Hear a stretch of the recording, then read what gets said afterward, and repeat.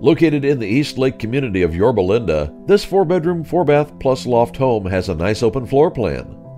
Updates include crown molding throughout and newer windows. The beautiful kitchen has an island, granite counters, and a pantry. The oversized master has a spacious walk in closet and a remodeled bathroom with a soaking tub, accompanied by sunset views.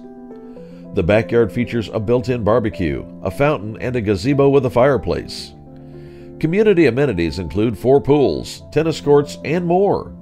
Come see it today with the Rachel Turner team.